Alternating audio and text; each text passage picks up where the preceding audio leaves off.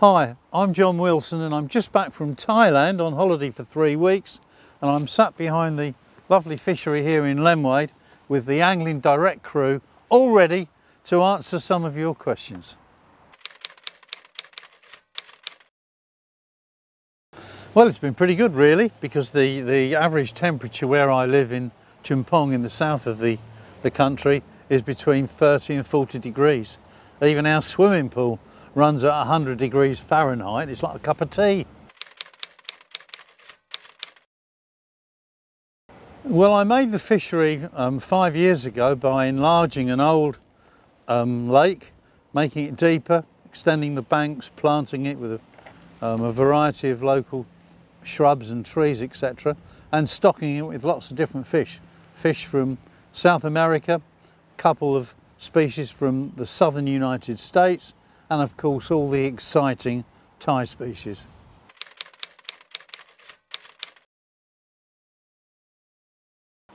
Well, I certainly don't miss the weather because I've been cold all week. Um, my knees have been cold, I must be getting older. Um, I think I miss probably more than anything long trotting. Long trotting for chub on the Wensum, long trotting for grayling in Hampshire on the on the Test and on the, the Avon. Yeah, I guess that's what I miss most of all. Well, I guess it really depends on circumstances because at the moment um, it could be health reasons that, that brings us back to the UK. It certainly wouldn't be the cold temperatures. Um, and we've also got six grandchildren that we miss and you know you want to see them grow up so um, I don't know the vote's out on that one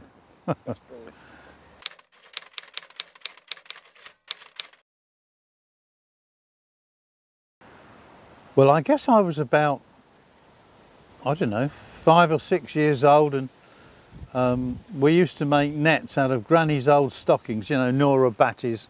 We used to tie a knot about that far down from the hem and then put a coat hanger through the hem in a ring, whip it to one of Dad's old garden canes and we used to go down to this little brook called Hillyfields Brook in North Enfield where I live because at that point I was, I was a Londoner living in London and um, Dad's arm being longer than mine could reach under all the dark crevices which were probably about that deep and come in with stone loach and the odd frog or minnows, but most of all sticklebacks, silver ones, uh, the henfish and the males, the red throats.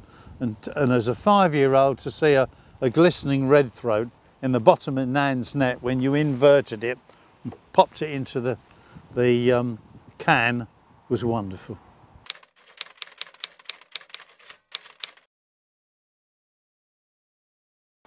Um, well, I guess it's a long story. I started um, with Dad's netting sticklebacks and then I um, went on to a bit of thread tied onto the garden cane and used to half hitch a worm on and we used to catch sticklebacks, minnows and newts and, um, and then Dad bought me my first rod and we used to go and fish the, the, little streams around Enfield and then further afield onto the River Lee where I, I learnt to trot for roach, um, catching them on stewed hemp seed and that type of thing. And then when I was about 14, 15, I, I went um, north to the, the River Waveney in, that borders Norfolk and Suffolk with a friend of mine and we caught, in fact I caught a two pound roach that first week and we had some bream for about five or six pounds and I liked the tranquility and I swore one day I would live there.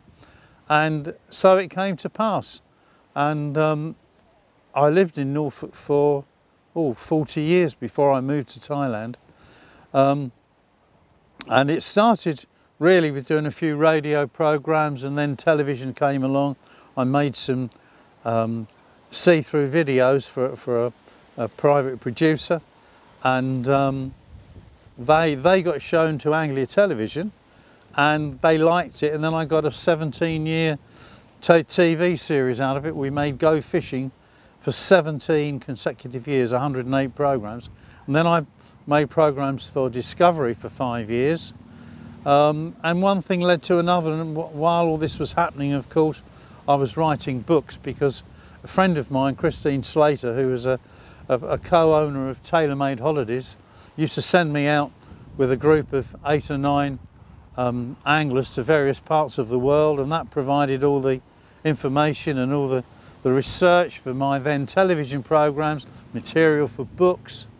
Um, I wrote for the um, Sunday and Daily Express for 11 years. Um, and it, it's funny, you don't say I'm going to be an angling writer or a TV director or producer, but it just happens.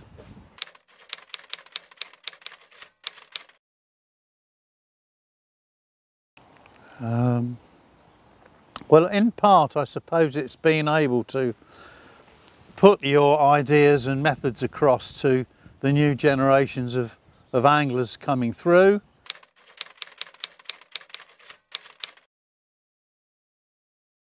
Well, it's nice to think that people think I've had an impact, and I suppose I have. Um, if you want to hand something down, um, a legacy, then all the TV programs and all the books that I've written, I hope will stand the next generations of anglers in good stead, just like my heroes, people like Dick Walker, stood me in good stead throughout the 50s and 60s.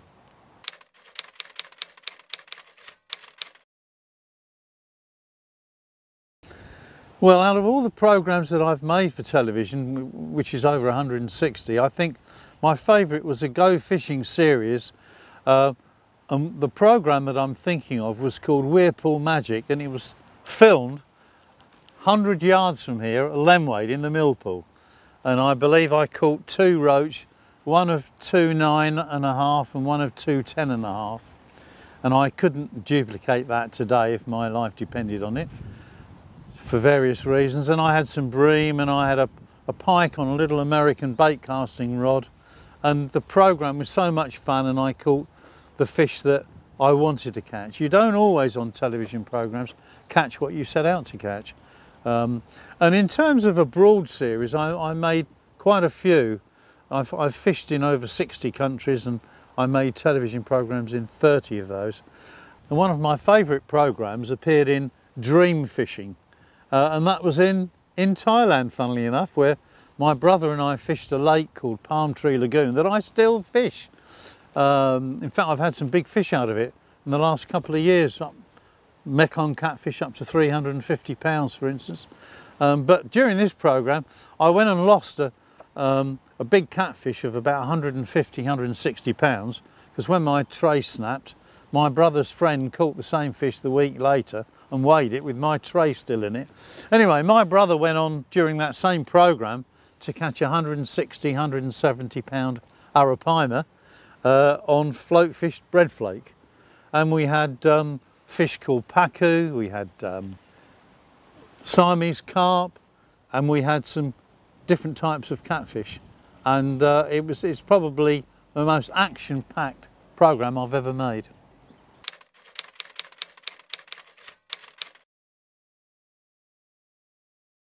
Uh, well, probably what springs to a lot of people's mind is a program I made in um, Canada with a, with a guide called Nap. And we were trolling for big lake trout in um, Nueltin Lake at the time. And I didn't know, but the Canadi Canadian government, a couple of weeks beforehand, Nap incidentally was a, a Dene Indian, and the Canadian government had taken some of their land back and he wasn't in a too happy mood. And I was asking, what did Nap? And he'd hardly answer me. And it came to the stage when I just didn't bother to answer, or if I spoke, I answered the question for him.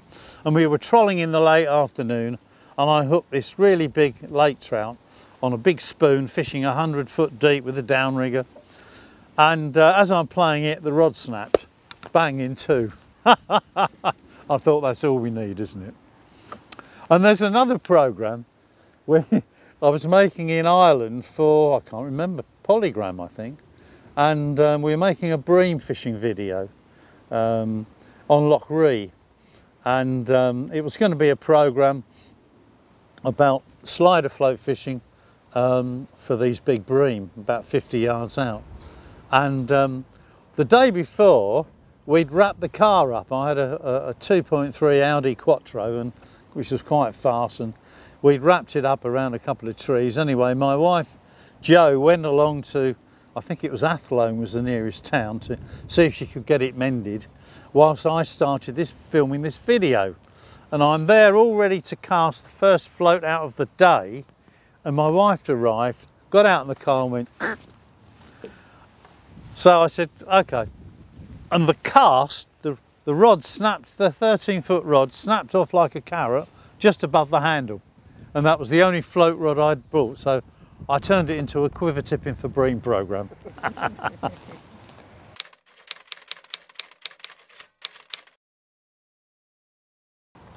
um, no, it didn't really. Uh, I it, it was it was fishing for tench on a local estate lake, and I can't mention the name because it's a private estate lake. But the tench fishing is very good there. And I just got these new bite alarms out, and um, they were the first bite alarms of bite alarms of their kind. And I'd caught quite a few tench, and I repeatedly knocked these rods off the rest. Uh, I don't know how it happened, and this was inflaming the producer, and I was getting all het up. Anyway, we made it in the end.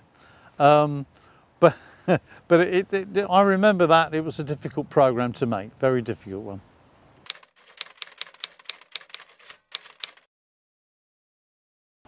Yes, I do. I, I don't know why Anglia Television, who have got all the uh, old go fishing programs, some of them on on tape, some of them on uh, digital form. I don't know, and there's 108 of them. I don't know why they don't have me in there and for say 20 or 30 of the programs have talk to camera and just tell people how the programs have evolved. Um, they'd get a lot of mileage out of that, but Anglia don't seem to want to do it. I, I don't understand. I think there's so much reality stuff nowadays that that everybody wants, you know, Love Island and Big Brother and all this. And I think people want to see that. They don't seem to want to see fishing nature programs. I may be wrong, I hope I am, and I might get a phone call from Anglia one day, mightn't I?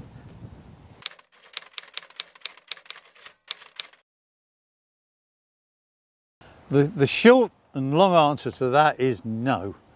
I've, I've made one or two um, promotional videos for uh, Masterline Walker in Thailand during the last year um, catching big arapaima and Mekong catfish.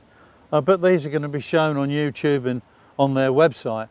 But in terms of actually making a program again, and, and I mean, I'm 75 in three weeks, for heaven's sake. I don't know whether I could stand it all.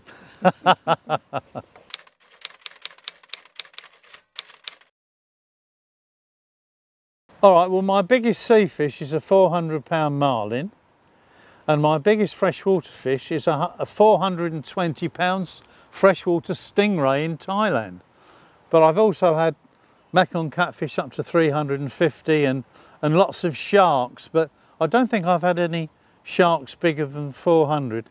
Um, oh, I had a 400 pound sturgeon in Canada, a nine foot sturgeon on the Fraser River, but that's all estimation. You, when you're miles from nowhere, you can't weigh a 400 pound fish and it wouldn't do the fish any good anyway. So to prey-sea that, in salt water it's 400 pounds and in fresh water it's 420.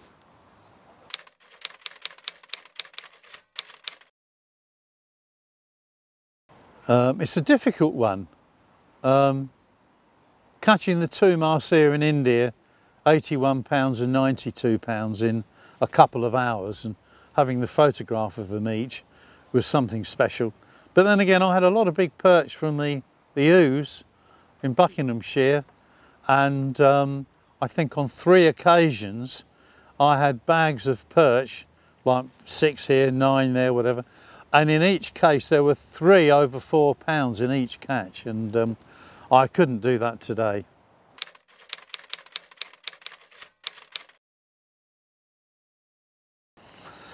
Yes, it was, it was on a, a boat called Tina and we were trolling for sailfish um, off Malindi in Kenya.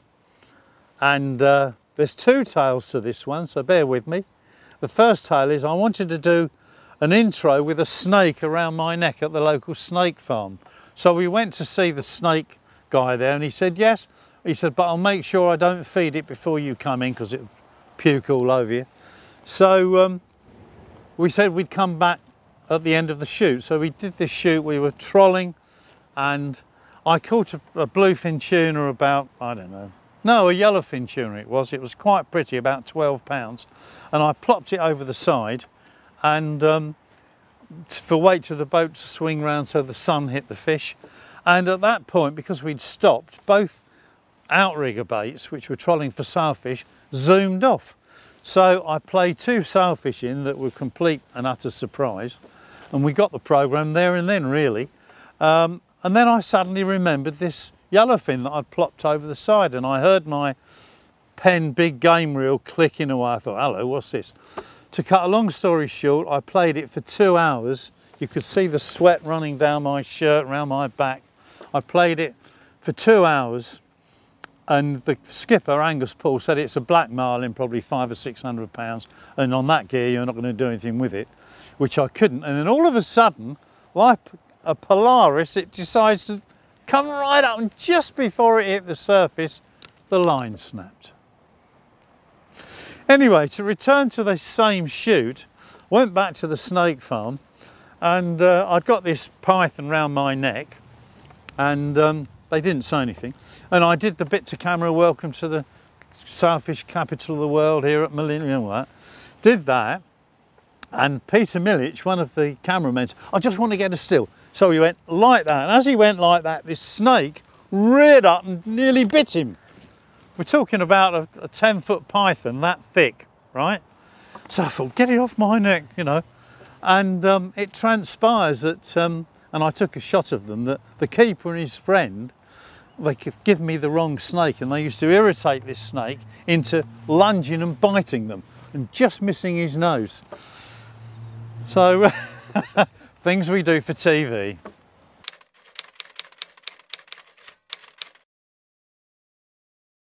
Well, I'd have to ask God to bring all the roach back to the Wensum and then it would be winter long trotting after, a, once the river's been in flood and it's fining down and there's a certain colour between green and brown that's about that much visibility and I'd be long trotting with a centre pin reel to catch big roach.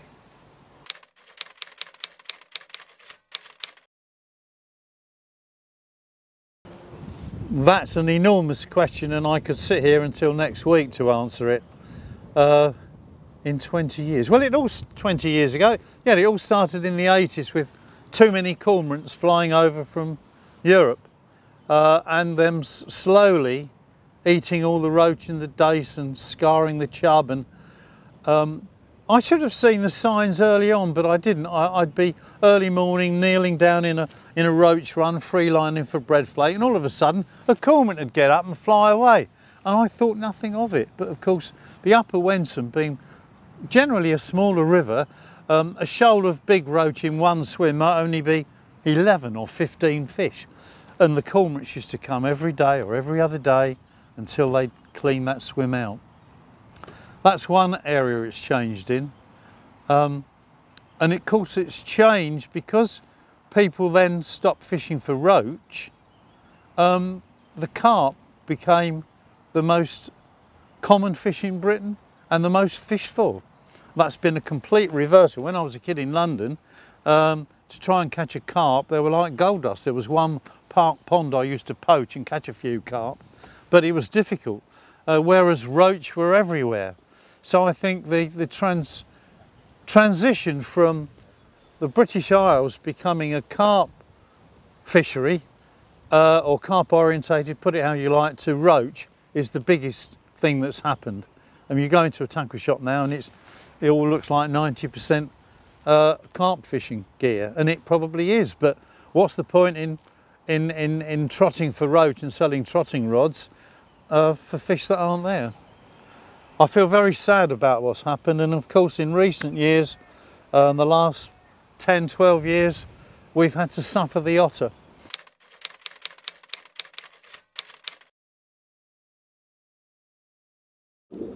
Well sadly, there's only one answer and it derives from our forefathers. um, our forefathers used to hunt otters and hunt foxes because they were a nuisance. They were a nuisance then and they're a nuisance now. Uh, and unless we start re-hunting otters, um, the freshwater fishing in Britain is going to get harder and harder. I hate fishing in fenced in environments. Fishing is getting out into the wild. Uh, uh, and having so many otters infiltrate our fisheries has made people fence fisheries in and this has caused um, animals like deer, foxes even, um, cock pheasants that I used to watch out of my bedroom window every morning 15 years ago pass by the lake can't even get there anymore because everywhere's fenced in. It's created such an unnatural uh, situation that uh, I fear for how fishing's going. Well, I think um, looking positively at it, if you live in an area that, that, that um, the fishing isn't very good, you can always drive to Hampshire or drive to Scotland or go to Northern Ireland or whatever or fish the big tidal rivers that don't seem to get predated upon by otters so much because of their flow and depth and holiday makers on the Broads for instance you can still catch good bags of roach on the, the lower rivers because there's too many people about.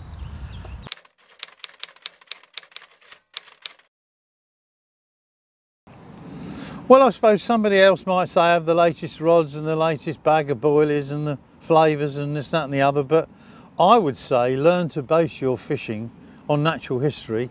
Learn to walk quietly, wear fairly drab clothes, um, make very slow movements. Don't go like that, because if you point at a fish, it will see it and you'll scare it. It's not the colours so much on the bank, it's movement. And cr all creatures, whether it's a deer, browsing on grass or whether it's a fish, um, it's bankside movement that, that is going to scare them. Um, people often say to me, why is it you pick your legs up like a chicken when I'm walking along? Well, watch a chicken trying to grab a worm. It goes, then puts it down, lifts it up and puts it down. It doesn't go, because otherwise the worm would go down the hole again. And I remember watching that because I used to go around my granddad's who had a rag and bone business and I used to feed um, his chickens worms that my dad had dug up. I used to watch him, you know, walking like this and ever so quietly and I would, I would teach kids to walk quietly, always wear Polaroid glasses, a peaked cap because otherwise you've got to do that. If you, if you go like that with a peaked cap, what it does, it cuts out all the superficial stuff that you don't really want to see. I don't want to see the top of that tree and this cloud and that cloud. I'm, I'm concentrating on where the fish are. If you like a television screen on the lake or in the water, uh, and of course a peak cap does that for you without you putting your hand up. All little things like that. I think um, it's a case of being at one with natural history. Um, for instance, if you can identify the trees that are, beside the river, for instance, on the Wensum here. If, if you've got some willows, now willows have got very fibrous red roots that stick out in the, under the water, come out from the bank that the roach and dace and other fish spawn on, but mostly the roots provide protection. Under the, prote under the protection of the roots you might have a, um, an undercut bank into which fish will move. You can often go along a, a river like the Wensum with Polaroid glasses and see absolutely nothing in the swim. And it's because they're under the bank, because they probably heard you walking along in the first place. But anyway, so I would base my, as I still do in my own fishing in Thailand where I live now, I base it on, on, on a, a love and a knowledge of natural history. And by doing that, I think you become a better and a more whole angler. Yes, I'd wish I'd caught a three pound roach trotting. I know I can go to carp lakes and stand a good chance of catching a three pound roach, but um, my biggest is 214 and a half, an ounce and a half short. And I just wanted to catch it trotting because of the, the skill involved in trotting a, a float 30, 40 yards downstream, striking and then playing it back on a size 16 hook and hoping a pike doesn't grab it when it gets into the margins all that is, is has got so much more skill and it's so more demanding than just picking up a, a rod in which the, the spool's already rotating and the hook's already in the fish that you want. It's just a personal thing. I'm not saying bolt rig ledgering for roach is wrong, it's not. It's a way of catching them and it's a very effective way of catching them. And I do use bolt rigs on, on certain, I caught my biggest barbel just over here on a bolt rig. Well, I've been answering your questions for some time to the best of my ability. Um, let me ask you one. If you were me, how would you like to see fishing now? Um, would you like to be long trotting for roach if they were back in the rivers, if we had, for instance, a national cormorant cull that I think they should have been? Um, would you like to, to see less anglers in not fenced in fisheries where you can just ramble with a bag and a, and a bait and a rod and a net and just creep here and creep there and not really, I mean for a lot of the fishing that I do I don't even use a stool, I just kneel down. Um, what would you like to see?